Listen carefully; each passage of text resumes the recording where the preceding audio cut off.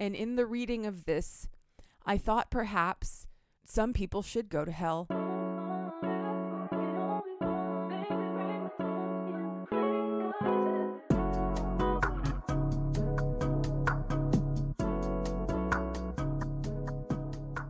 Hello and welcome to another episode of Cheap Smut. My name is Katie Mizell. And my name is Carl Mizell. And this is a podcast that really, really just showed up. How are you? Yeah, here. Yep, we're Yeah. showing up. Yeah, we're showing up. But hey, that's that's what heroes do. Hey, you know what? It is. And when you need us, we'll be there. and not all heroes wear capes. Um Something, Something, something, himbos, something, something. C. Rochelle. Rochelle. Yeah. How you doing, C. Rochelle? We hope you're well. How are you? um, I'm pretty good. I'm pretty good. I mean, I'm not really going to talk about the mental health stuff. So I'm going back to therapy. Woo! Woo! I'll talk about it more later, maybe. I don't know. Um, but I'm otherwise good. I'm good. Uh, it was a good day. It was. Today was a really nice day. it was a de- it was a pretty decent day. The Mhm. boy the boy child at one point we were outside Mm-hmm. uh, in the front yard, me and the the kids. You were walking the idiot mm-hmm. uh, Himbo Jones, and uh, the the girl child wanted to go inside, but he wanted to stay outside. So I got he's like, "Can I have the camping chair?" I was like, "Yeah," Mhm. and he grabbed his camping chair, got a little one of the little mini cans of Diet Coke, and got his tablet, Mm-hmm. and then he asked me for some goldfish, yeah. and then his little six year old mind just thought, he goes, "Dad, is this a good life?" I said, "What do you mean?" He said. Being outside in a chair with Diet Coke and goldfish and my tablet watching videos, is that a good life? And I was like, "What do you think?" He goes, "One million percent, that's a good life." yes. He was just thr- like he had no idea that you could do Yep. that Yep. outside. Yep. Which kind of circles back, and I tried to explain to him very TLDR the conversation you and I were having last night about cell phones Mm-hmm. specifically how like if you would have shown 8 year old me like i'm i'm Mhm. in that perfect age where this is this is what science fiction promised me Yes. And it's here and mm-hmm. I use the example of like I remember hearing the first time I heard Love Shack going, Yeah. "Wow, this is a great song," and my mom said, "I can't believe they're still making music." she couldn't just get her phone out and show me Yeah. Rock Lobster Yeah. or whatever. You just I just had to take her fucking word for it, and it's just it's so wonderful that my kid has already the opportunity to just be outside in nature, chilling, relaxing, getting some fresh air, while also just relaxing and, and, and watching his silly videos, Yep. and, and and I I love that. I love that for On him his portable screen. on his portable screen. But like that is like that is literally the kind of shit that we were promised by. I mean, they, they, they, it's been called Star Trek technology before, but like Star Trek at all, mm-hmm. you know, stuff like. Sci-fi technology. sci-fi technology is here, and so I always try to be conscientious of that and try to appreciate Mm-hmm. that we're able to do that. We're able to do this. Yeah. I I I, I make a podcast Mhm. with my com- my laptop computer. We make a better sounding radio show from our living room Yeah. than people 50 years ago made in big booths with shit tons of equipment Yes. when they were the pinnacle of entertainment. I I rec- we record it Mm-hmm. and then I just send it off into the wirelessly Yep. into the world, and then Yep. you get to hear Exactly. it. It is ridiculous. It's ridiculous. Yep. But again, I th- 50 but years ago. but then I get mad at my cell phone. I get mad at it. I Mhm. throw it every once in a while. It's a miracle. And I throw it. Mhm. I've had multiples. I couldn't even ret- I couldn't even tell you how many of those miracles that I've had. Yep. I want a new one. I, every time, yeah, I have two. You too? and I hate both of them, but I hate one more, and I hate the work phone more because it's an Apple phone. Mm-hmm. But yeah, anyway, I didn't mean to go on that that tangent. I just I, I was it was so nice for him to have that moment, and then it was great for me to just be able to be appreciative of the fact that we've come so far. But I told him I was like, buddy, I didn't. I didn't get to just watch videos on a tablet when I was a kid, and you'd have looked at me. He looked at me like I, I sprouted a second head. Yep. It was crazy. Anyway, enough enough of the digression. What are we talking about this week? This week, I have prepared a selection of wild shit that's all Halloween funk funkiness. We're bra- like it's like the it's like the stinky cheese. Uh, to start off spooky smuttober strong. So we're gonna get real weird with it this week. Oh, I cannot wait. This is this this I think is when we're at our best. Oh, absolutely, yes. Um, so do you want do you want to just jump right into the first one, or do you want to maybe pick? No, no, you you it, you you run the ship here. Okay, well then we are going to start off with "Faulty" by Nicole Parker. Okay. Um, this was recommended to us by Unfortunate Reads, I believe, and uh, I, it's been on my TBR for a long time. now, if okay, if it came from Cassie, yes. if it came from Cassie, I and I the one word title, Mm-hmm.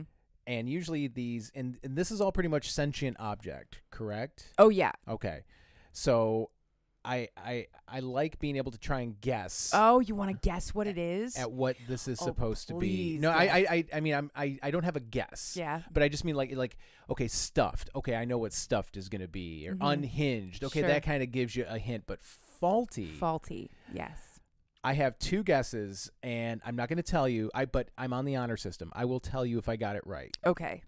I believe you. Okay. All right. So this is book two in the Kyle verse series. There are so many The Kyle. Kyle verse. Yes. Mm-hmm. We're already off to a swimming So start. fucking good. okay. Oh, Um, the gym verse. Yeah, the Kyle verse series. Book one is called Rake. And I'm assuming it's not about a really, really good baseball player. No, nor is it about uh an like an overly or like a womanizing man. Mm-hmm. It's about a rake. Yeah. Ooh, li- I like that. Yeah. Look at you digging way back. Oh yeah. Um. So this is faulty. Yeah. book two in the Kyle verse series. For our triple T's, I just took the content page right from Nicole. Oh, and, and before we get started, uh, although the, the, the show notes will probably say this, we don't. I'm not to have the sh- all the triple T's for a bunch of stories in, in the show notes. So, uh, reader caution advised. First and foremost, this is a sentient object romance, which means people will get down and dirty with a sentient object, but everything is consensual. In no particular order, there is penetrative and oral sex, some restraining, tickling, cursing, blindfolding, flavored cum, masturbation, hand on neck, no choking, and multiple partners. Okay. I'm not feeling good about my guesses. No? No. But No? Once once it's revealed, I'll let you know if I got it. All right. So uh, this story is told from the perspective of our FMC. Her name is Chloe. We don't really get much information about her. At the start of the book, Chloe is in a secondhand shop on her lunch break, and she finds a toy from her childhood, something that makes her feel really nostalgic. And she goes to the counter to ask how much it is, and the guy behind the counter, who is like this really attractive, like good-looking dude, that we just note that right out off the get, right off the bat that he's like her type. Um, it's like, oh well, brand a brand new one like that in box is gonna run you like fifty something dollars, and she says, oh, I can't afford that. He gives her once over, and she says, like the look that he gives her is like assessing her soul, and he says, you know what, I have another one. You can have it for like twenty dollars. Um, but this one is defective. It's faulty. And she says, "Okay, that's fine. I mean, if even if it doesn't work, if it just sits on my shelf, that's fine." But the way he says this is like almost flirtatious, like implying something Mm-hmm. and she just thinks that he's maybe hitting on her. She doesn't really know. Um, but she buys this, she takes it home, she unboxes it, she puts batteries in it, and she wakes up her brand new Flurbo,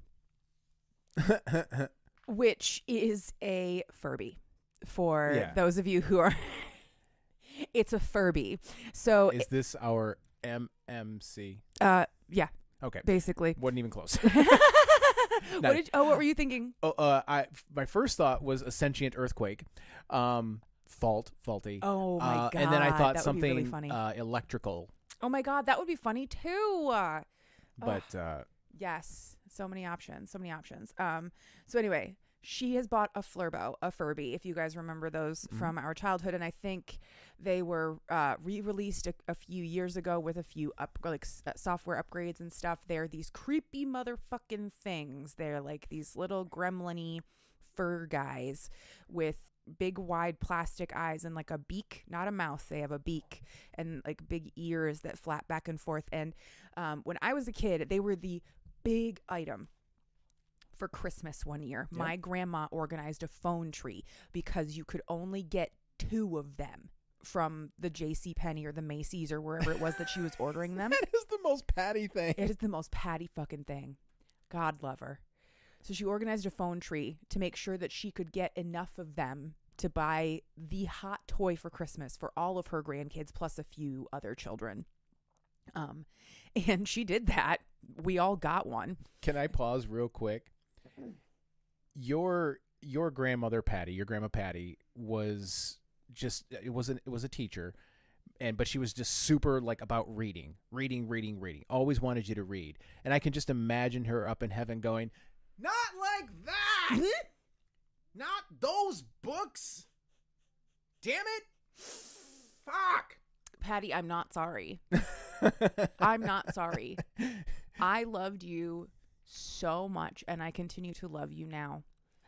But you were not without fault, No, no. you upper middle class white woman. but she did instill in you a love of but reading she that did instill in me a love of reading. I have a wonderful picture of her reading.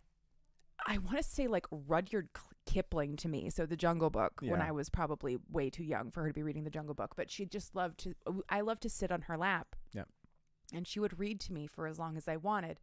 And uh, now I read porn yeah For a living. and then tell people and about tell people about it. it Love you, Patty.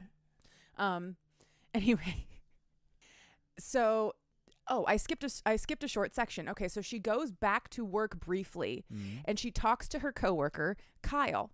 Kyle is a recurring character throughout all of these books. He is the glue holding this universe together. He is the most open-minded and chill dude you have ever met. And the universe rewards him handsomely for that chillness. Either that or he is something much bigger. I was gonna say, but I love I love the idea of an entire universe of books centered around an ancillary character who's just the glue. yeah. I love the, I think that's what Kyle is. the wildness that just surrounds him. yeah. Do that, Marvel Cinematic Universe, you cowards. Yeah, right. Exactly. Everything from the perspective of like, you know, The waitress in the first Avengers Yeah. movie that Captain America shoos out. oh, she was I she was an actress I recognized too. Yeah. I was kind of hoping that she would have more in the future of th- that series. Anyway, Kyle first. Kyle verse. So anyway, um, so she talks to Kyle about the Flurbo, and Kyle says that he thinks Flur- Flurbos are kind of creepy, but she's like, "Oh, but I like them. They're cute, and they kind of remind me of my childhood." Anyway, so she goes home. She plug. She puts batteries in this thing. It wakes up. It says hi to her. It spe- It speaks Flurbanese, and there is. There is a Flurbanese dictionary linked in the back of this book, so I'm guessing that Nicole came up with a m- minimal Mhm. vocabulary for it. But it says the first thing it says is "Hey Uta," um, which means "Hey beautiful," and uh, it calls her that from the moment it sees her. It just calls her beautiful from the moment it sees her. Um, so the so Furbo already knows what a book boyfriend is supposed to do. I guess Okay. I um I call Flurbo it Oh, Flurbo. Thank you. for the entire Fair. They, it. it because it doesn't have a I don't think it has a gender like that. That's fair. So, Yeah. you know. Anyway, so she has a quiet night. She eats her dinner. She watches some TV. She goes to sleep. Um, she wakes up in the middle of the night to a seven foot Flurbo standing at the edge of her bed, No. Telling her that she needs to wake up. She understands Flurbanese when she's sleeping, but only when she's dreaming or sleeping or whatever this is does she understand what it's saying. Now, it is- says, Is Like- it a seven, f- just just a larger Flurbo, or is it a hot large? no, it's just a larger Flurbo. I support this. I do too. It's fully just a big Flurbo. Got it. And um, it says, no sleep beautiful or something like that in Flurbanese. And she freaks out, runs, and hides in the bathroom. a reasonable response. exactly. Until she has a minute to breathe and calm down and convince herself that that's that was probably a nightmare or something. She pokes her head out. It is not there. Anymore. So she goes back to bed. And in the morning, it's sitting on the count or on the shelf where she left it. So she thinks that it was just a nightmare. She tells Kyle at work about that nightmare. And uh, he offers to come over and protect her from the big scary Flurbo. He's Oh, a okay. flirt. Oh, Kyle is a flirt. He's such a flirt. Um, that night she has dinner and she like invites Flurbo to come to the kitchen. Like she brings Flurbo to the kitchen while do, she cooks. do you want to like hang out? yeah, basically just like chats with it. You're supposed to talk to a Flurbo or a Furby so that they can learn English. So she just sort of like hangs out with it and it watches movies with her or TV or whatever until she goes to sleep. She leaves, she puts it back on the um, shelf and she goes to sleep. And that night, she wakes up with the seven foot tall Flurbo in her bedroom again, saying, No sleep, beautiful. And eventually it says that it wants to play. Oh yeah. Except what it says is, I play you. And the limited vocabulary of the Flurbo made this entire thing way more disturbing to me. way more disturbing. Of all of the books I am going to tell you about today, this one is the most disturbing to me personally oh yeah. Well, be, because you're because of the big Flurbo. well because of the big flurbo and also like I mean the complete lack of clear communication. Mm-hmm. like I, I know we've talked about this and I just mean in term like with our children like when children are learning to talk sometimes they'll have an umbrella Mm-hmm. Of, of like one like one word Yes. like our both of our kids use the word spicy Mm-hmm. for a var- like they would say cookies were spicy they would say milk was spicy but like things they didn't particularly Yep. care for like Yep. because they associate spicy with bad Yep. And then it evolves into spicy being a sensation in the mouth that you don't like. Yep. But that could also mean like the cold of peppermint. Exactly. Or, you know, Yep. yeah, Uh, all those things. So it's just even it's when they do it, it's eh, kind of cute. Sometimes a little frustrating, but when a seven foot tall Flurbo does it in your dreams, Mm, that's ups. That's that's unnerving. yeah. It's really upsetting, especially well, so because in the book it is speaking in Flurbanese, and then the translation is in italics next to the sentence. Okay. So you're reading all of that too, and it's a lot of like ki ya me you o li ma. So you're just like, holy fuck, that is a toy. I play you. You like tickle, motherfucker. Now, first of all, I am not. I am not a tickle person. no. I don't like to be tickled and I the people who find any kind of like pleasure in being tickled, I think that you should be given some kind of special position after the world ends cuz you're a different fucking breed. You're you are more than me. no. if if you derive pleasure from tickling, you would probably survive torture. Yeah. Like like that's what I like. Yeah, exactly. That's what I think. Because like to me, tickling is torture. So like if you can if you can survive tickling eh, to the point where not only do you survive it, you enjoy it. Yeah. You probably could get through some other terrible shit.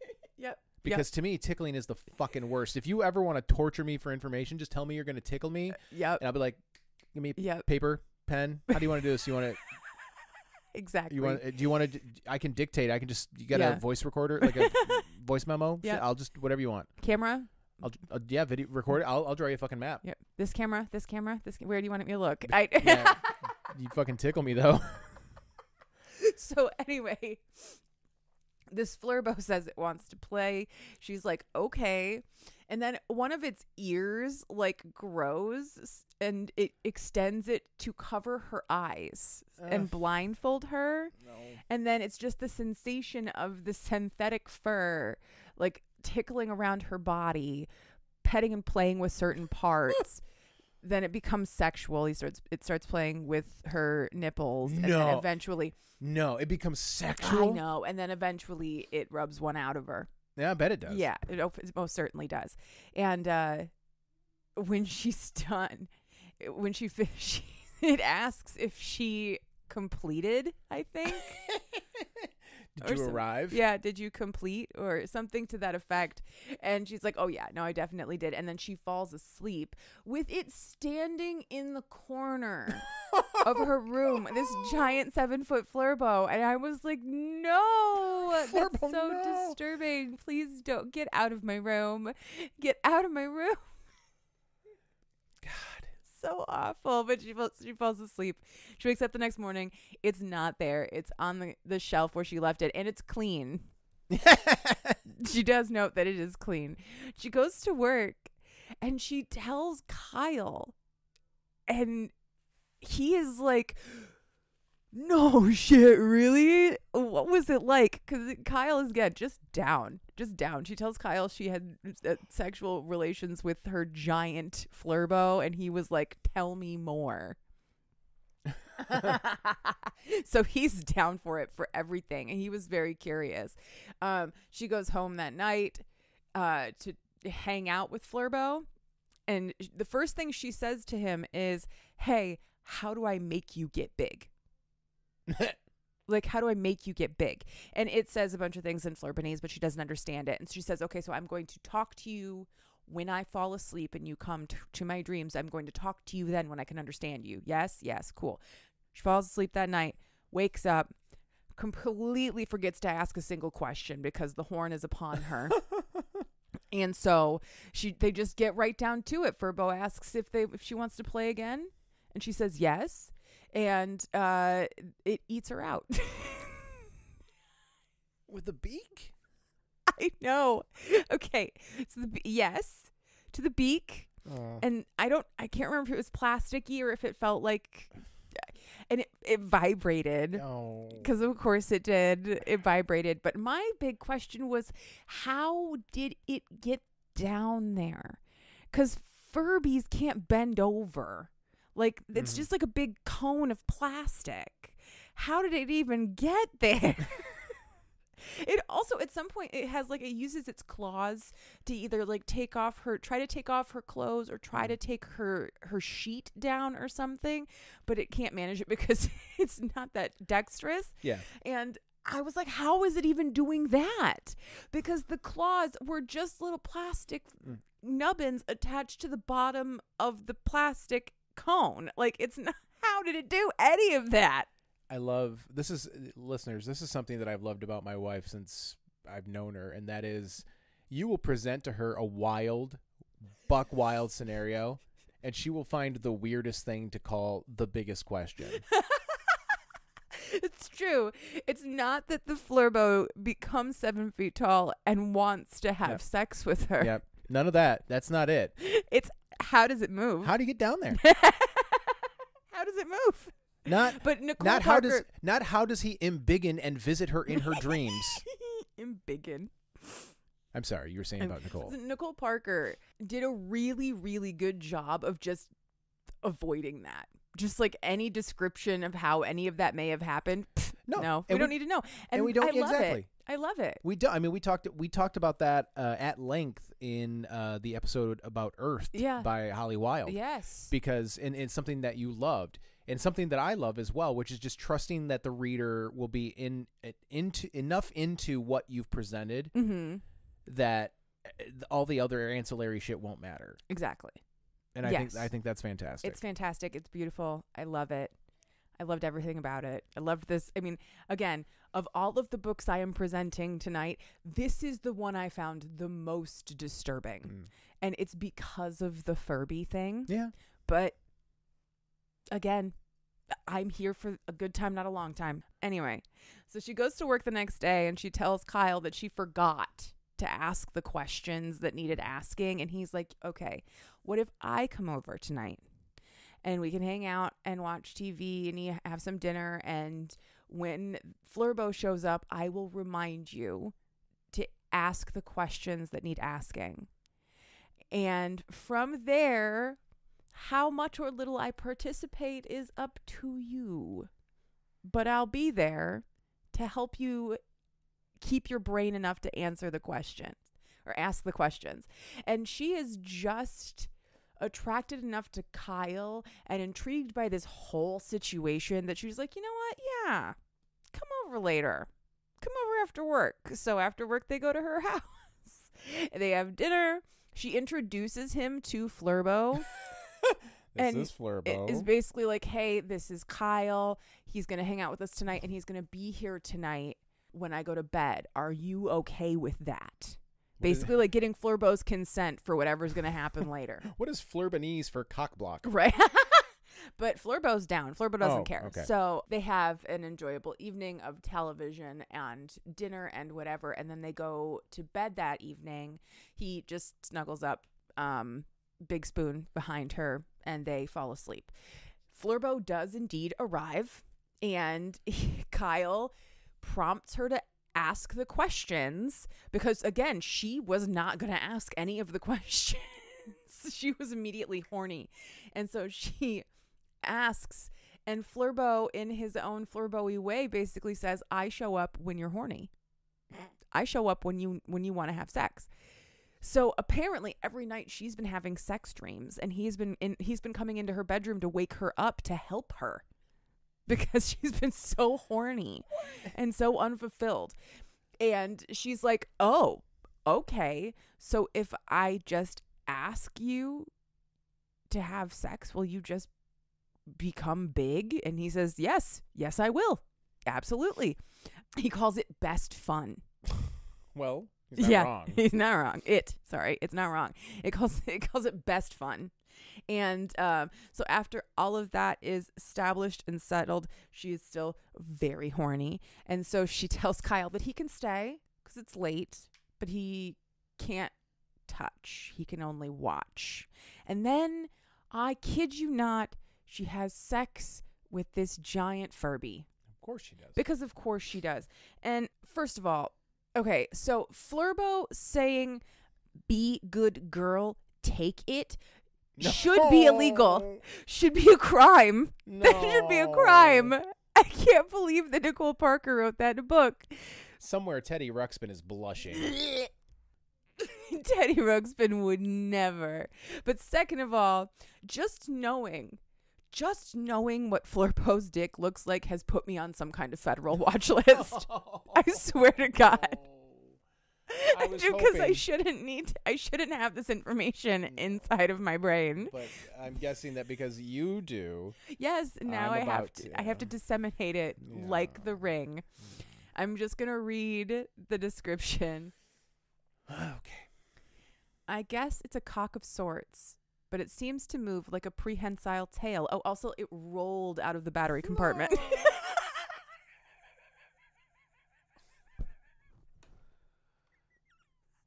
I know, I didn't like it either.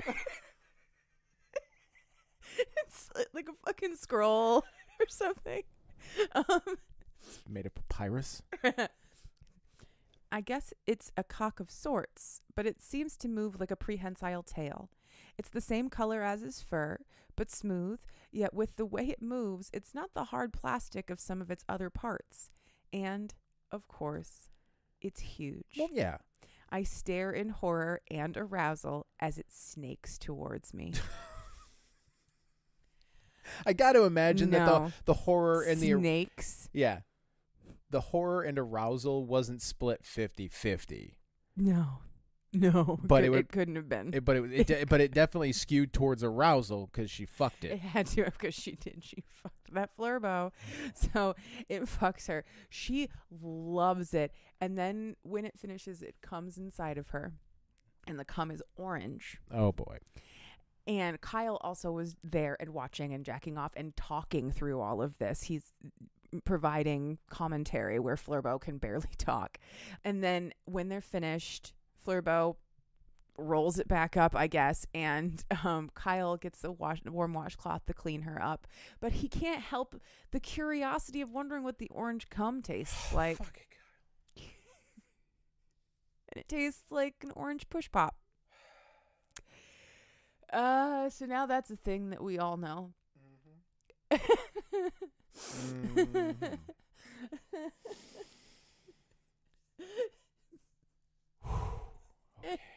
anyway, Yeah. they go to sleep. Happy spooky Smuttober. Jesus fucking Christ. Satan truly is with us. anyway, um, they go to sleep.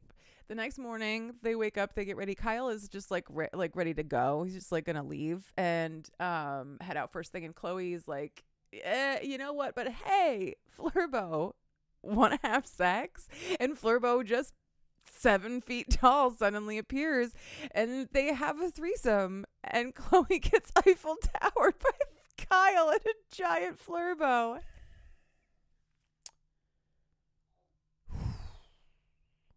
Mm-hmm. Himbo, I don't know how you're sleeping through this. So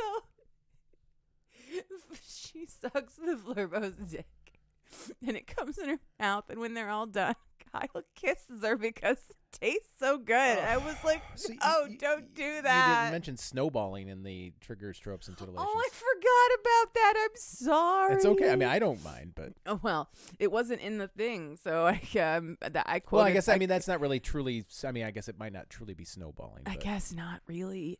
No, I don't know. Either way, that was faulty.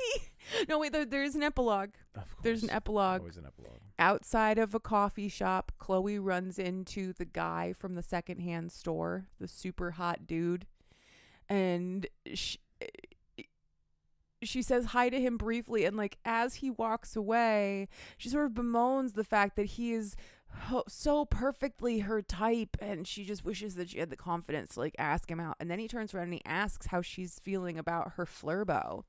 And the subtext is basically, uh, yeah, it gets giant and fucks me, and I love it. And the guy is like, oh, that's fucking chill. Do you want to maybe get a drink sometime?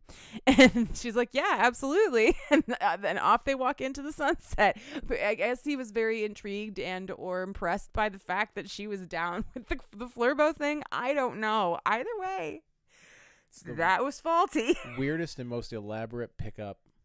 I'm gonna sell her this haunted stuffed animal that fucks her, and then I'll just cross path. I'll I'll make sure I cross paths with her, and then I'll act intrigued and ask her out and ask her out. We're replacing the top of the list for the world's weirdest kink. Yeah. Hey man, but i- irrespective of weird, we ain't gonna shame it. What else? What other horrors do you have in that cell phone for me? Because I haven't been able to stop thinking about it for a year. Oh. I read Mummy, Sorry, Mummy, Sorry by Latrexa Nova. I feel like you mentioned this on the I episode did. of Monster Mash I with did. with special guest Aaron Callahan. because it's the funniest name ever. All right, Mummy, Sorry, Mummy, Sorry, let's get into it. colon, Oh shit! an erotic FFM BDSM Halloween night at the museum by Latrexa Nova. Oh, okay. Oh my god, this book was so incredible. Okay, so Latrexa, as we know, is the queen of Halloween. And this book is included in her 13 Kinks of Halloween collection. You can get it for $2.99 as a standalone or through KU or $9.99 for the for the 13 Kinks collection, $16.66 to get that collection in Amazon paperback. The triple T's, because this is a Latrexa book, are slightly more intense. BDSM, submission and subjugation, impact play with hand and tools, FFM, cis slash heterosexual slash eternal slash unknowable. no, really, it doesn't have to be that big, are my triple T's for this. Our FNC, FMC for this one, her name is Amanda. She is a high school science teacher of some kind. She teaches seniors. And at the start of this book, she is waiting outside of the museum for the seniors who are supposed to be coming for the overnight sleepover at the museum for Halloween that she has been so excited about. Isn't this so freaking cool? Like she even dressed up in her Miss Frizzle dress with bones on it. Yeah, This sounds awesome. it does sound. I, I when I worked at the museum uh, in Flint yeah. years ago, we used to do that. I never I never worked any of them, Mhm. but we used to do that, and it always seemed like a really awesome time. So they have this whole like sleepover at the museum thing, and Amanda is getting the last of the phone calls from her students who are all canceling. A couple of them are probably legitimately sick because there is a flu going around, but the rest of them straight up are just canceling. and she is devastated Well, yeah. because like 13 kids all of them canceled this is a super cool thing that she wanted to do but she's not going to do it by herself you know so i guess it's time to go home so she tells the staff paul and paula um, Paul and Paula. yeah I love it. love it yeah that uh they won't be needed and they're like okay great cool free night off. We but we're gonna need to like shut it down and she asks if she can walk through while they do that at least so she can see the exhibits. Yeah absolutely no problem. So she walks through she sees everything she wants to see and then on her way out she b- passes the not yet open mummy exhibit. They found a brand new sarcophagus and a bunch of canopic jars in perfect condition. They got them in this museum, blah, blah, blah. It's not open yet, but she decides she's going to sneak in and look anyway. It's um, the, the displays are almost done and everything is already out, which makes no sense. doesn't have to make sense. That's not what we're here for. And she goes to look at everything as close as she possibly can. It's so cool. These like these actual canopic jars in perfect condition with all the little heads on them and everything. And as she's leaning over to get as good a look as she can, she loses her balance. She falls. She tries to catch herself on a pillar that's holding up one of these jars, jars, but the pillar, for whatever reason, is not attached to the ground. And so she knocks it over It's not load bearing. and she tries to catch the pillar or the jars that are on top of it, but she can't really catch either thing. Then that starts a domino effect of all of the pillars that are in this display. All of the jars go flying, and eventually one of them falls onto the sarcophagus, chips the sarcophagus, and damages the mummy inside and she is running around trying to fix this all, clean it up. There's ob- obviously no way to fix it. She's sobbing because she feels terrible. Like she has very mixed emotions about museums Mhm. in general because we all do. But she still feels bad that she broke it all. And she eventually she just sort of like piles each of the jars up as best as she can and it's just dusty remains and she tries to like rub out the spot on the sarcophagus that got all scratched up, but she can't. She feels around on the mummy and notices there's like a crack in the chest of the mummy. And she's like, oh, fuck. uh, there is nothing. She feels terrible, but there's nothing that she can do. So she turns around to go find Paul and explain that she's going to have to, like, I don't know, sell a kidney or something to get to help to pay off the museum. She's but get- better be more worried about the mummy's curse. Seriously, but well, she turns around and she runs face first into Anubis, the jackal-headed god of the dead.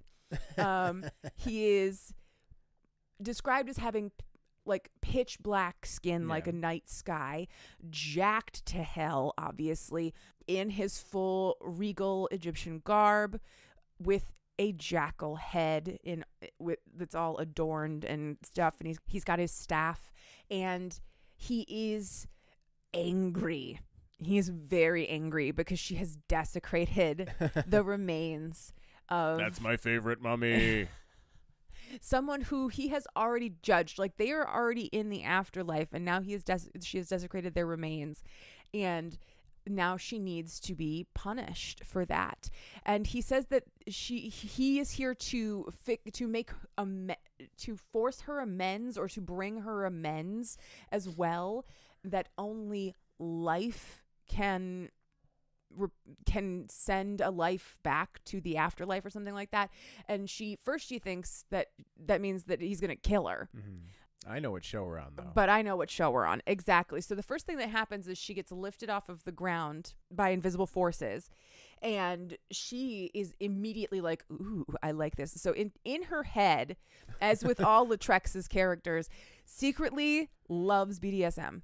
and, and- Is is a secret sub who goes another county over to get her ass beat every weekend. Anubis is like, stop liking this. right. this is punishment. right but um so he first he i think he whips her with an actual whip and he asks her to apologize, but her apology is not good enough um, because it still has a qualifier. you don't qualify. You just say you're sorry. You don't say but or you don't say I didn't know. You just and he's like not good enough. So then he turns her over his godly knee and um spanks her a bunch of times and eventually her apology is good enough. So he turns her back over again and uh fingers her for being a good girl. See, God, what? What? it's just one record scratch after another in these books. God, Well, of course there it was. Of course. Where else was this going? I know, but I I, know what show we're on. I yeah, I thought I did. but anyway, so he fingers her and then he fucks her face with frankly an unnecessarily large dick. Like Well- from description, I know you're a god, buddy. I get it. Whatever. But like it doesn't have to be an absolute bat, you know? yeah. Jesus. What's it? What do you like? How? How does that? How does that? How? yeah. How? Yeah. No. How? Like it, how? Eventually, eventually she does have sex with him. Like obviously we're not. So But but see, at, at least that sort of makes sense because I know that a baby can pass through a vagina. I mean that's true. the jaw, the jaw does Mm. not have that much flexibility. Mm, yeah, that's true. That's true. But anyway, so they she, they finish that sequence, and then the uh, mummy stands up No. and it walks towards them, and he tells her that this This is Kyle. is Kyle. this is Nefrusbek, and she has been ripped from her place in the afterlife because her remains were destroyed. And that is all Amanda's fault. And this is what is left of her. She is nothing but a shell. And it, like this this was horrible. he was like get down on your knees and apologize to oh, her thank Christ. apologize to her. And so she does. And then he tells her to unwrap the mummy. Oh. So she does. She unwraps the mummy, and un- underneath is a mummy, exactly as you would expect it to be after all this time, Mhm. preserved but mummified. And she is kneeling down at its feet again, very repentant, apologizing, saying she will do whatever it takes. And he tells her to kiss her repentance onto the mummy's feet, like to kiss the mummy's feet. Oh. I- basically. I, don't know. Oh, I don't know. Yeah, right. So she leans down and she kisses the mummy's foot. As soon as her lips make contact, wherever she makes contact is revivified. So she never actually kisses mummy flesh.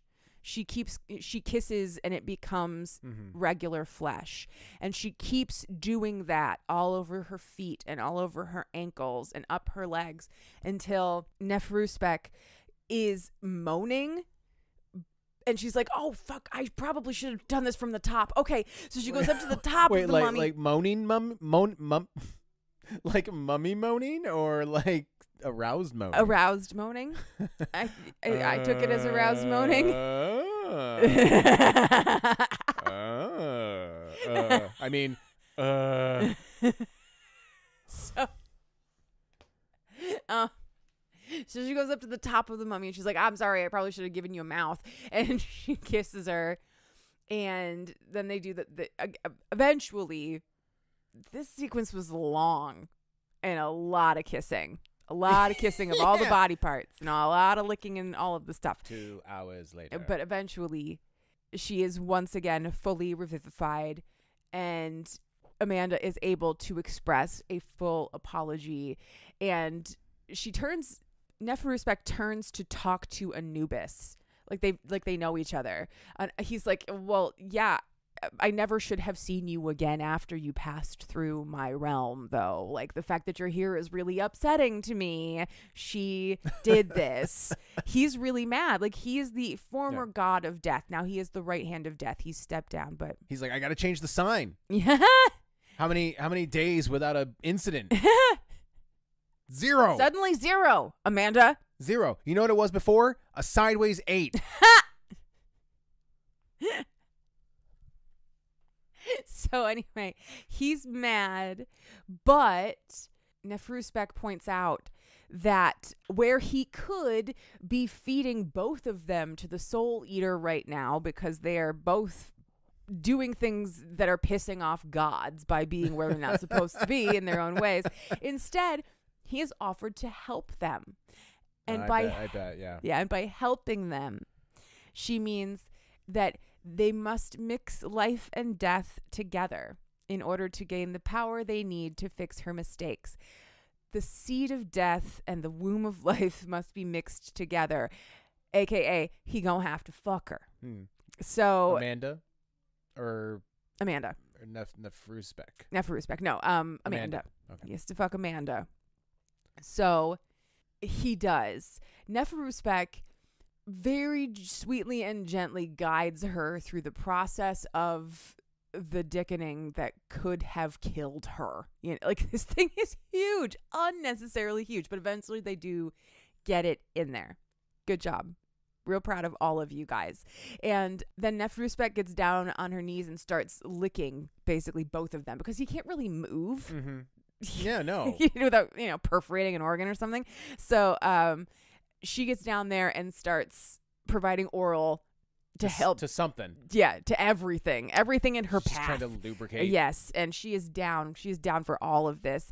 And um, once Amanda gets close, they push everything down onto the ground. Nefruspek is like grinding against Amanda's thigh. Anubis is behind her. Everybody's having the time of their lives. Everybody comes.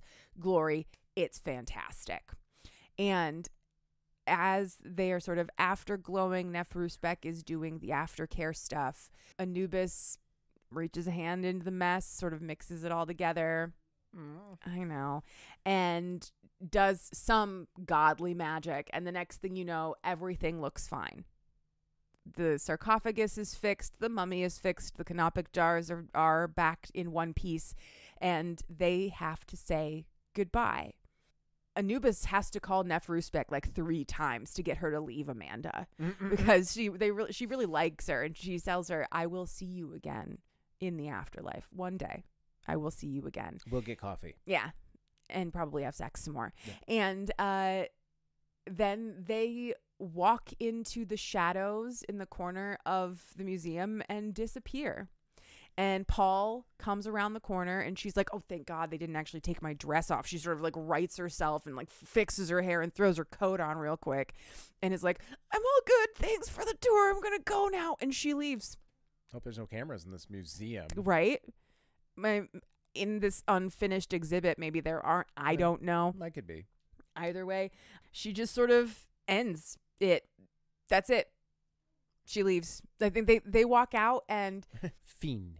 Fiend Paula has like a cheap mummy on a string and she like comes out of the shadows and is like woo and they end it with a pun. Because again, that's how Latrexa ends all of her books. She ends them with a pun. So that was Mummy Sorry.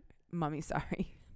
I had to I, I have had I have needed to read that book for a No, year it's fine. And it was so funny and it was so good because of course it was because it was Latrexa. So it was legitimately good and the the sex was good and the BDSM and kink are always really good, but also it's ridiculous. You know? Yeah. The best. I have one more quick Per- perfect. insane one. All right. This last one, I am not really uh y'all aren't ready. You aren't ready, my love.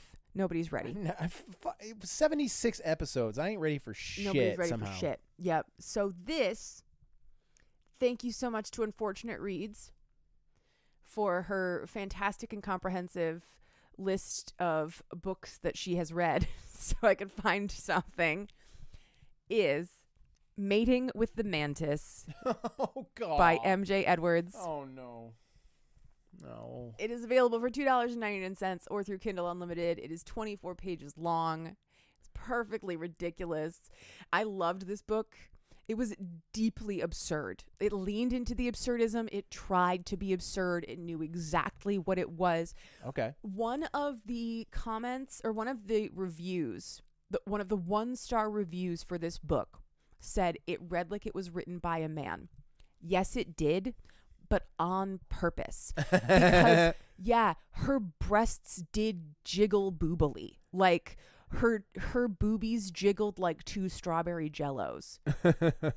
It was ridiculous. That's the second time I've heard that phrase today. Or the well, it's the first time I heard it out loud. It is also written in uh, the book that I'm reading. Oh, breasted boobily? Uh, I'm boobing boobily Yeah. is what one of the uh char- but it was a, the woman with the boobs that Yeah. said it. Yeah. That's a that's sort of a meme from the uh, from the Yeah. the Tumblr world of, you know, when men write women. Yeah. You know, they breast boobily down the stairs and things like that. Um so there's a lot of that. I also really enjoyed there were several times in this book where they he MJ, whoever they are, used the same word in a sentence over and over again on purpose to point out the fact that that's what they were doing. Okay. So like my eyes stung and I rubbed my eyes when my eyes were like on purpose. And it's hilarious. It's so funny. Okay, so the triple T's for this one, I just wrote strap in motherfucker because I can't tell you anything else really. Um Actually, her notes just it's brackets and then it just says confused brain. confused brain. Yeah. huh? Huh? Um, so strap in, motherfucker. Our FMC in this book, her name is Dr. Liberty J.T. Penningforthy the Third. what are we what are we calling her for short? She calls herself Dr. Penningforthly. Okay. I don't. So Dr. P. Dr. P. Dr. P. Dr. Penningforthly is attracted to mantises and has been since her childhood. And in the reading of this, I thought perhaps some people should go to hell. Um, but not you, MJ. Not you, MJ.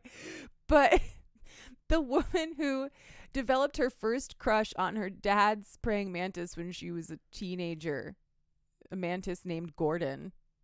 And then when she was in her 20s, she lost her virginity to a guy that she met on a dating app named Gordon because his name was Gordon.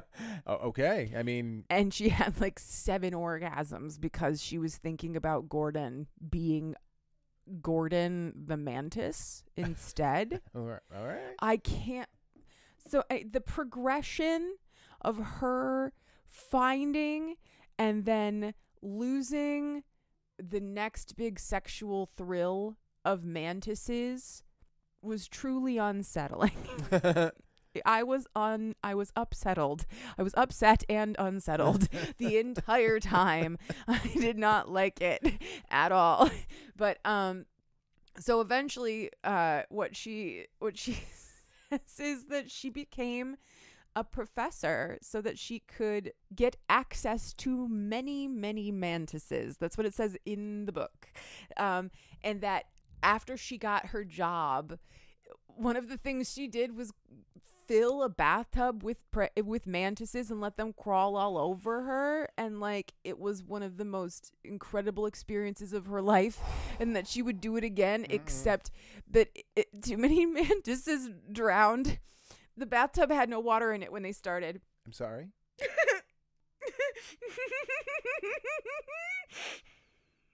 You g- gonna elaborate further on this? i don't think that i have to or can yeah. or should Yeah. It's probably. I th- I think it's I think- a horrifying horrifying implication I, I think if you do that, J- Jim Podcast will storm in here Jim. and take us off the podcast i'm airwaves. so sorry jim The inventor of the podcast, Jim Podcast, will come in here and complain lo- loudly about what we've done to his beloved medium. So let's just not. Let's just not. Yeah. So anyway, let's just move on from all of this because a lot of this is just her fantasizing about and thinking about the various sexual things she's done with mantises. But so she goes into work one day and another scientist whose name is Terry. Terry the scientist is wheeling in a big box and she's like what's in there and he's like you promise you won't tell anybody it's an embiggening ray. It makes things bigger. And she's like, no shit. Does it work on Manti? their very first thought was, I'm going to make a mantis big and I'm going to fuck that mantis. That was her first thought. Can I point it right at its dick? so she does. She waits all day until everybody else has left the building. She's comically popping up behind plants and water coolers. waiting for people to leave. was waiting. And so when the fi- when finally the last person leaves the lab, she closes the doors, she locks them, and then she she hacks into the security system. And the description of that was the funniest thing I'd ever read because it literally said, "I tapped a few buttons. I'm in." I said, and I I just love the idea. Click, click, I'm in. click. I'm in. So funny. Okay. What was so- the password? Funnily enough, enter. yeah, it, it was Just pa- it enter. was it was password. No. It was password. No, not even. Just press enter. yeah. I just winked at the computer and it let me in. There are a lot of highlights in this book, which I am going through right now to sort of keep track of what happens in it. And I've just read one of the popular highlights. So, what was a poor, horny, magnificently chested, but vaginally dry insectologist supposed to do? Okay, okay. If you read this book and gave it a one star review, shame on you. So, anyway, she waits till everybody leaves. And then she goes to her wall of mantises because she has a wall of mantis tanks. And she gets out one of her favorites. The cutest one. Gordon 23. She's been naming all of her mantises Gordon. She's a freak. She's weird. I love her. Old G23. Hell yeah. She takes him into the embiggening ray room, wherever that is, puts him down on a thingy, like on a tray, and she's like, I'm, I can figure this out. I'm a scientist. It's what, it, whatever. There's a big button and it says shoot on it. So she just pushes the button and it says shoot. And then there's a bunch of noises and a big flash and bang. And she's very disoriented. And then she's, when she sort of gains her senses back, her eyes hurt really bad for a second. So she tries to rub them, but she stabs herself in the eye with her claw because she's a fucking mantis now. Instead of turning Gordon 23 into a giant mantis, she turned herself into a mantis sized mantis. I'm. There's another way to say it. I'm upset. I am upset. I'm upset to hear what you just said. I am upset, but not because I also think this is the only ethical way she could do this. that's that's true. But to to quote our son, I don't like the thing you just said. I don't.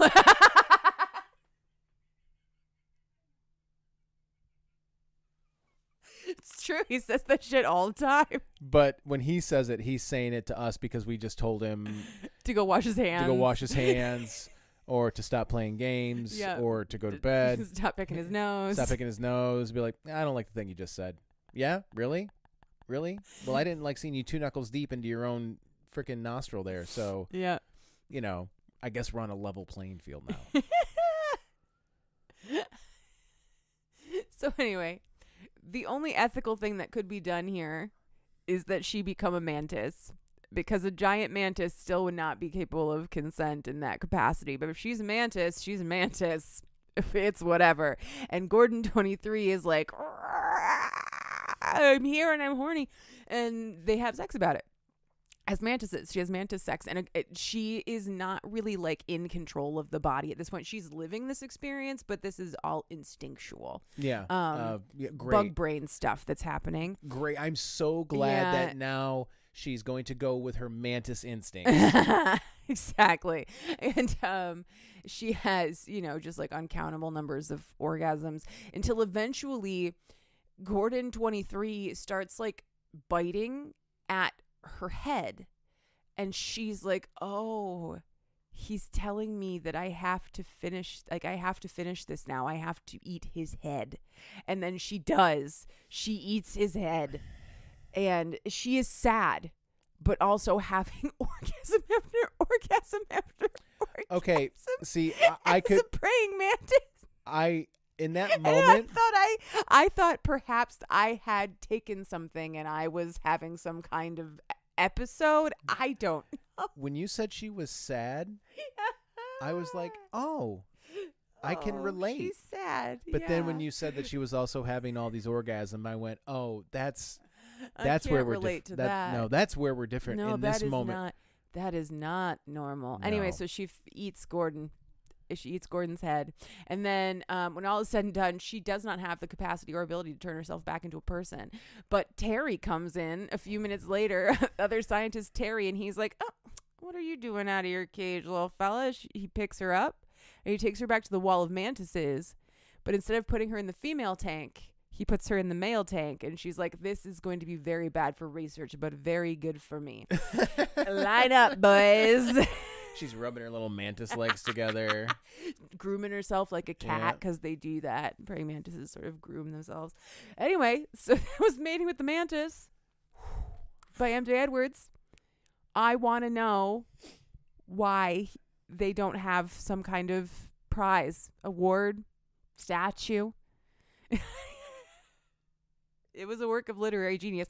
I, I, I want to read a bunch of shit. Like, I want to read a bunch of the things that were written in this book because it was so funny, but I won't. Well, I would 'cause that would nominate. be rude. I would nominate this for a nebula. Oh, golly. Yes, or- absolutely. Or, a Saturn Nebula. or whatever science fiction. Because I mean, this is first of all, it's definitely science fiction. Mm-hmm. It could be both. It could be smut and science fiction.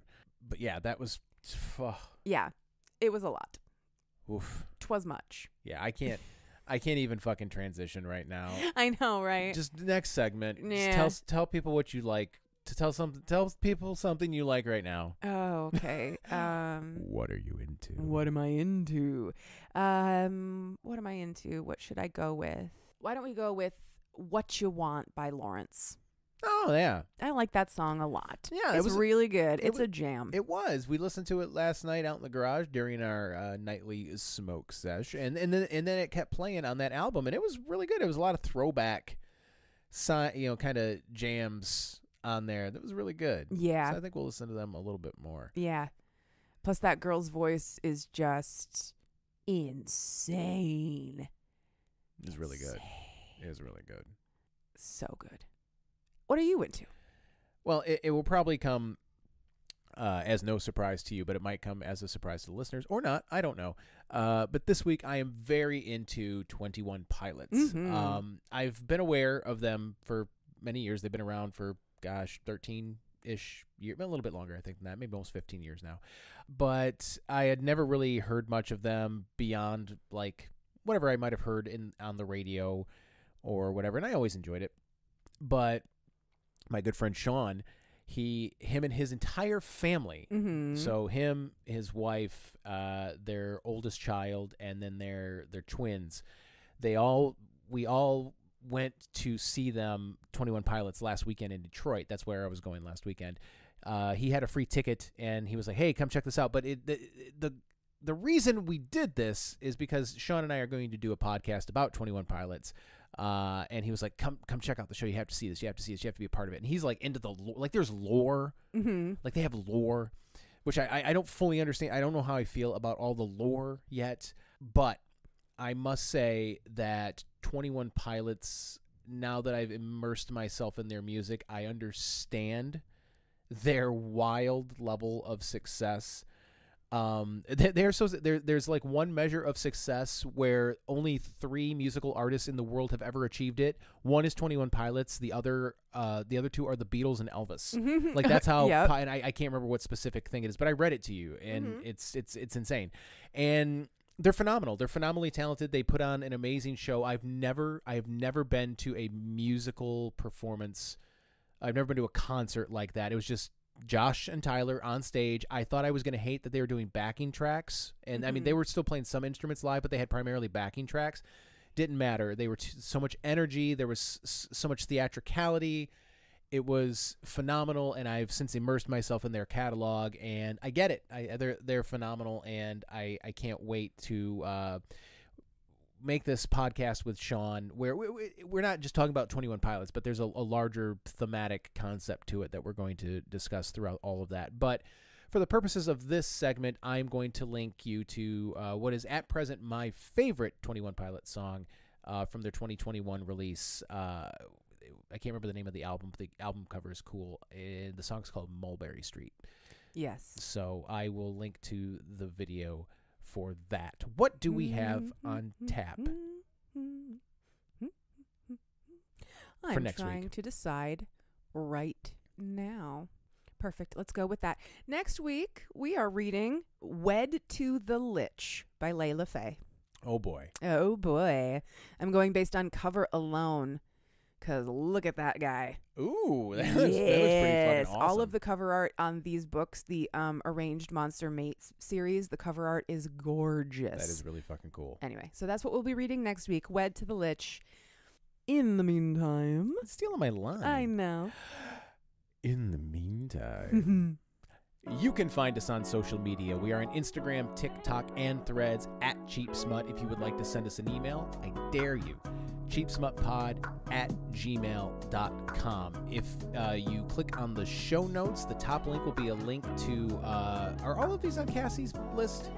I don't think All so. right, I'll just create a bunch of links. I'll create links for all these books in our Linktree. They are not affiliate links. We do not get any money for those. But if you think that we uh, are worthy of a little bit of your financial support, and by a little bit, I literally mean $1 a month or $12 a year, we would greatly appreciate it. And you can do that on Patreon, like these fine folks have Raven, Natasha Bear, Desiree Rodriguez, Local Mind Flayers Seattle, number 42, Bookworm, Vincent Sultanfuss, Katsune Inc., Cassie, Cassandra, Brian S., April D. Berry, Leah Legend, Dana Goddard, Gemma, Lady Squishy Buns, Tia Esk, Rob Gatika, Angela McNichols, Katie Hurd, Gwendolyn Harper, Seneca O, and Rebecca K.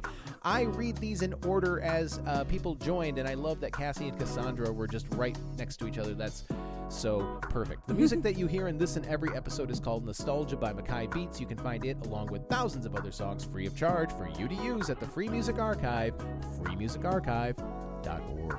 Listener, remember, if there is a book in you, write it. And if there's fucking in it, I'll read it. And then she will come on this show and explain it to me for your entertainment. No matter how weird it is. Goodbye.